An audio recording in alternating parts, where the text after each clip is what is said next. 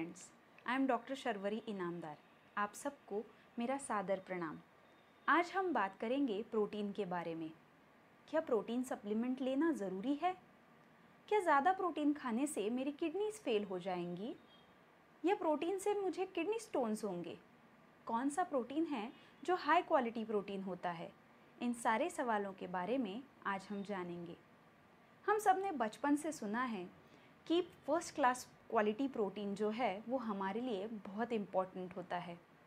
नए सेल्स का निर्माण करना हॉर्मोन्स और एंजाइम्स बनाना और मेनली ग्रोथ एंड रिपेयर का काम करना, ये सब इंपॉर्टेंट फ़ंक्शंस प्रोटीन करता है।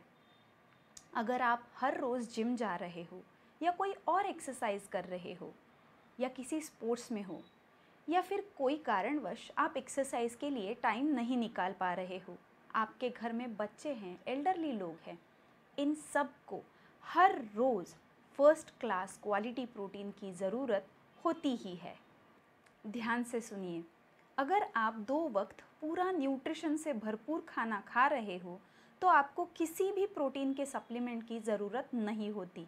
अगर आप वेजिटेरियन हो, तब भी।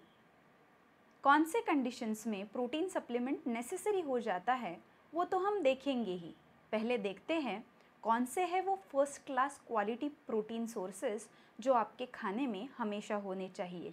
वो है paneer cheese whole eggs organ meat fish या फिर कोई भी प्राणीजन्य पदार्थ। क्या ज़्यादा प्रोटीन युक्त आहार से किसी की किडनीज फेल हो सकती है? तो पूरे कॉन्सेंट्रेशन के साथ सुनिए।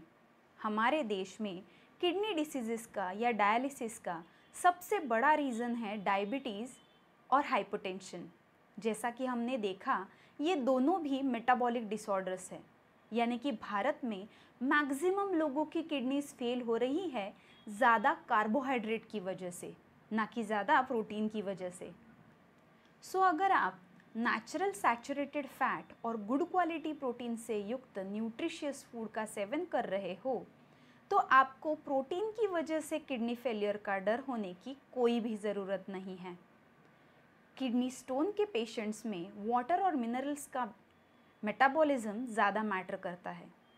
तो आइए देखते हैं कौन है ऐसे लोग जिनको प्रोटीन सप्लीमेंट लेना ज़रूरी हो जाता है।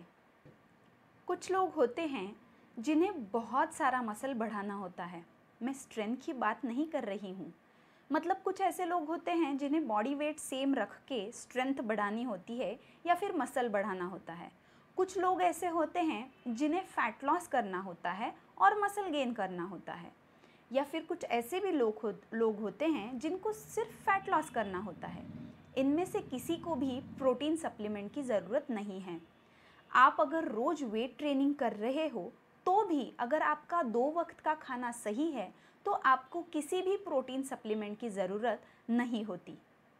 मैं उनकी बात कर रही हूँ जो वेट ट्रेन कर रहे हैं और जिन्हें किलोज़ में मसल बढ़ाना है, जैसे कि 15 किलो 20 किलो, ऐसे बहुत बड़े मात्रा में, उन लोगों के लिए प्रोटीन सप्लीमेंट उपयुक्त साबित होता है।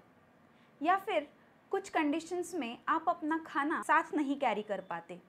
आपको जहाँ पर हो, वहाँ पर अगर न्यूट्रिशियस फ़ूड अवेलेबल ही नहीं है तो आप प्रोटीन सप्लीमेंट का इस्तेमाल कर सकते हो कोकोनट ऑयल या घी के साथ। मार्केट में बहुत सारे प्रोटीन सप्लीमेंट्स अवेलेबल हैं जैसे सोयाबीन के होते हैं एग अल्ब्यूमिन के होते हैं वेट गेनर्स होते हैं या फिर मास गेनर्स हैं मील रिप्लेसमेंट फार्मूलाज हैं इन सब में अगर आपको ऐसा सप्लीमेंट चाहिए कि जो जो फ़र्स्ट क्लास क्वालिटी प्रोटीन है तो whey supplement whey protein is the best option. Remember, whoever says whatever to you, if you don't want to gain humongous amount of muscle like in several kilograms, you don't need a single protein supplement ever. आओ हम सब मिलके थाली में से खाना खाएँ ना कि किसी जार में से let the jar be an emergency food and not the day to day need thank you